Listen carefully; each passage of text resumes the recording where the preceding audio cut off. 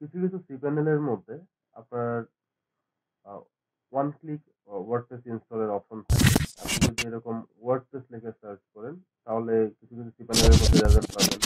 অথবা আপনি এখানে সফটিকুলাস অ্যাপস ইনস্টলার লিখে সার্চ করতে পারেন। সেক্ষেত্রে আমরা এখানে দেখতে পাচ্ছি যে সফটিকুলাস অ্যাপস ইনস্টলার নামে একটা অপশন আছে।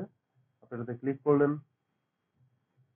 অথবা এরকম আইকন আপনি সার্ভার থেকে খুঁজে বের করলেন, খুঁজে বের করে ওটাতে ক্লিক করলেন। ক্লিক করার পরে এখানে দেখা যাচ্ছে বিভিন্ন সফটওয়্যার আপনি চাইলে ইনস্টল করতে পারেন। তো আমি এখানে ইনস্টল এর মধ্যে ক্লিক করলাম। ওয়ার্ডপ্রেসে ইনস্টল এর মধ্যে ক্লিক করলাম। ক্লিক করার পরে বলতেছে যে আপনার এখানে কীভাবে আপনি সেটআপ করবেন। আপনি কি HTTP www রাখবেন কি রাখবেন না। HTTPS রাখবেন কি রাখবেন এরকম। আমরা এখানে জাস্ট HTTP দিয়ে সেটআপ করলাম। এটা হচ্ছে আমাদের মেইন ডোমেইনের নাম। যদি আমরা আমাদের মেইন ডোমেইনে সেটআপ করতে চাই ওয়ার্ডপ্রেস ডিরেক্টরি যে অপশনটা আছে, এটা খালি রাখব। এখানে আমরা কিছু অ্যাড করব না। কিন্তু যদি আপনি অন্য কোনো ফোল্ডারে করতে চান, সেক্ষেত্রে এখানে নামটা লিখবেন। যেমন আমাদের অলরেডি মেন ডিরেক্টরিতে একটা ওয়ার্ডপ্রেস সেটআপ আছে। তো আমরা এখানে চাচ্ছি, মনে করেন যে স্ল্যাশ নিউ নামে একটা পেজ থাকবে। অর্থাৎ এখানে যখন আমরা যাব, তখন নতুন আরেকটা ওয়ার্ডপ্রেস দেখাবে। যেমন এখন দেখাচ্ছে নট ফাউন্ড। তার মানে হচ্ছে এই লিঙ্কটা এখন পাচ্ছে না। তো আমরা এই লিঙ্কের মধ্যে কি করব? নতুন একটা ওয়ার্ডপ্রেস সেটআপ দিব। তো যদি সাব লিঙ্ক হয় তাহলে জাস্ট এই ইন ডিরেক্টরির মধ্যে নিউটা দিয়ে দিবেন। ওকে?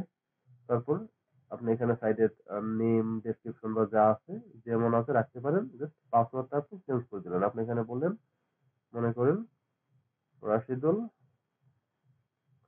আর পাসওয়ার্ড দিলেন ১ ২ ৩ ৪ ৫ ৬ ওকে? তারপর একটা ইমেল দিয়ে দিলেন আপনি। এখানে বলতেছে উইক পাসওয়ার্ড আপনি রাখতে পারবেন। আপনি বললেন ৬ তারপর কিছু সিম্বল দিলেন। স্ট্রং হয়ে গেল। এরপরে নিচের দিকে এসে ইনস্টল ক্লিক করবেন। এভাবে যদি আপনি ইনস্টল করেন তাহলে আপনার ডাটাবেস, ইউজার তারপর হচ্ছে ওয়ার্ডপ্রেস আপলোড সবকিছু অটোমেটিক হয়ে যাবে। হচ্ছে অটো প্রসেসে আপনি ওয়ার্ডপ্রেসটাকে ইনস্টল করে ফেলেন এখন দেখাচ্ছে যে আপনার এই লিঙ্কের মধ্যে ওয়ার্ডপ্রেসটা সেটআপ হয়ে গেছে। আপনি চাইলে নতুন করে আবার অ্যাডমিনেও যাইতে পারবেন।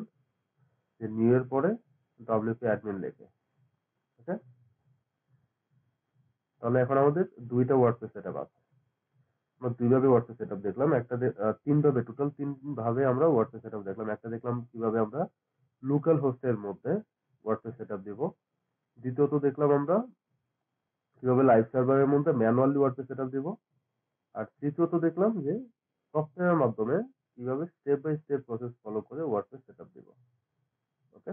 তো এরকম ভাবে আপনারা যতবার পারেন মিনিমাম চার থেকে ৫ বার আপনি ওয়ার্ডপ্রেস সেটআপ করেন। Stick it